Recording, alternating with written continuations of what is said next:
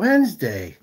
I think it's the 31st of July. We still got we're on our last day of July, I do believe. Let me double check. Yes, yes. And it's about 7:30 here, Chicago time. Donald Trump's coming to town to give a speech. He's raised an uproar. The National Black Journalists Society guess invited him and he showed up, pissed off the mayor of Chicago, pissed off some of the media um, that uh, they didn't in, they didn't invite or they invite that they invited him. I guess um, guess Kamala didn't want to come or she wasn't invited. Who knows?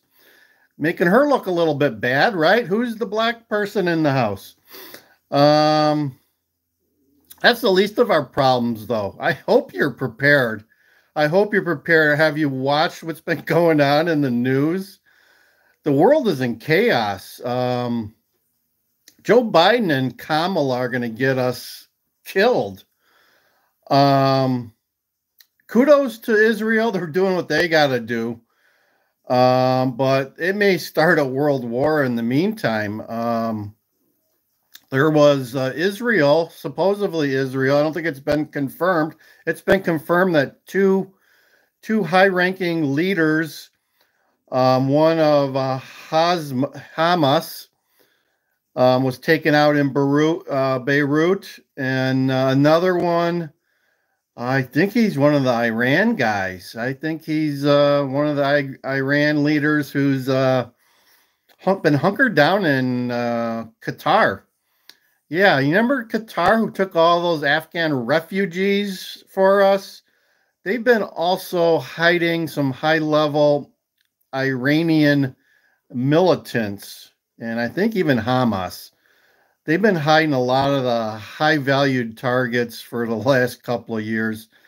Um, but there was one they were, I guess there was um, um, inauguration of uh, the president or prime minister of Iran, whatever they have over there, the new one. Ring the bell on that, huh? Um, so this guy was in Iran and Tehran, which is like in the middle of the country. Um, and he was assassinated by someone. No one's uh, no one's no one's come forward yet, but they suspect maybe it was an Israel thing. Um, sounds like it was an airstrike. So crazy that I mean they're they're sending a message to Iran. Israel is sending a hell if it was a if it was Israel, they're sending a hell of a message to Iran that they can get somebody that far in the country um, without having any difficulties, it appears. So, um, next steps by Iran to come shortly, probably. Um, it's it's just crazy out there. And then if you watch the Secret Service uh, thing yesterday. Who do we got here? We're, we've been we've been talking about the chaos in Iran and uh, with the assassinations. Uh, we talked about Donald Trump coming to Chicago for the National Black Journalist Convention and how Chicago's Chicago's blown a lid. They can't believe that he's coming. Um, he's gonna he's gonna send this this uh, this town into chaos today, even before the DNC starts off. So let's talk about the Secret Service um, hearing yesterday. The new Secret Service um, guy, I think his name is Richard Rowe, um, uh, testified. He testified. I think it was his first time, first or second time. Um, he gave he gave answers. He gave answers. Still, though, it's it's a cover up, folks. Let's let's face it. Um, Secret Service failed immensely. There's a lot of um, oh, there's a lot of whistleblowers coming out now in the Secret Service, and he's trying to cover that up. I guess he he tried to delete some emails that were sent out from the Secret Service um, by one whistleblower um, conveniently, I mean, he tried to pass the buck to the local state and um, county police of having jurisdiction to cover that um, that AGR building. But you know what? Ultimately, it's the Secret Service that's responsible. Um, they didn't check. They didn't check if anyone was in place on that roof or had a presence over there. They they failed. They failed.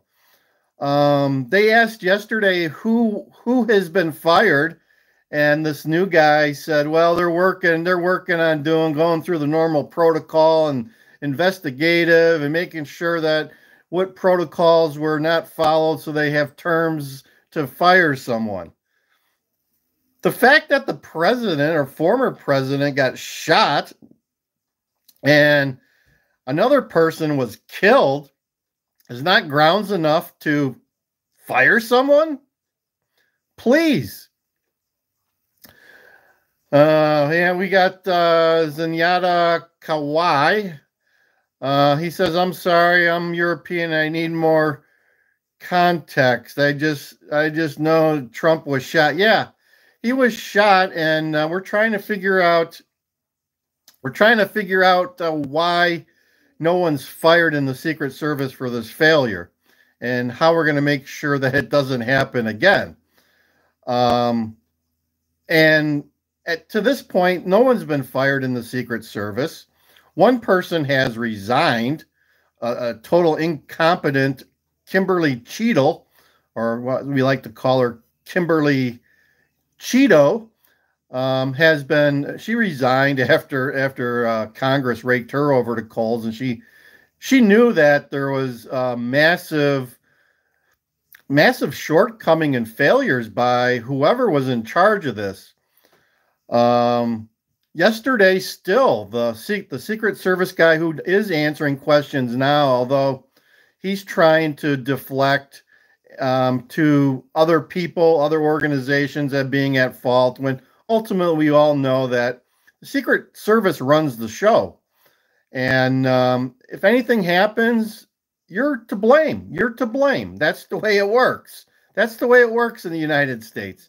If something something uh, that you organize fails, uh, you're responsible. Yet no one's been fired. No one has been fired by the Secret Service, and uh, this guy won't this guy won't even um, give the names of the people who were in charge of this event, the people who did the um, you know the pre-visit, pre-event organizing and planning, uh, who signed off on it.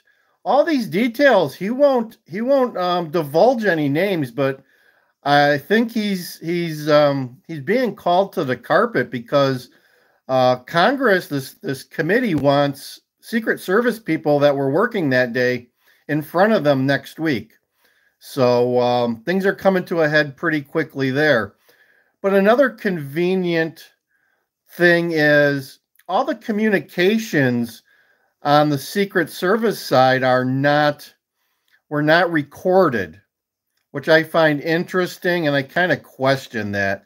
Um, all the secret service. I used to work. I used to work in the communications industry, so um, I'm a little familiar with with uh, with some of the stuff that goes on there. But anyway, they have encrypted communication, which to me says, oh, it's digital, right? It's digital. It's just for the Secret Service, and um, surprisingly, it wasn't recorded. Hmm. That makes it very convenient that no one knows what was said and when, and whether or not the Secret Service was aware of what and when. Um, they're going to have to rely on other people to tell them. Um, we're 17 days in on this, and the Secret Service agent, the head of the Secret Service, he didn't even provide a timeline to Congress at this point, which um, this this shouts cover up. This just shouts cover up uh, making making me wonder whether or not um, this was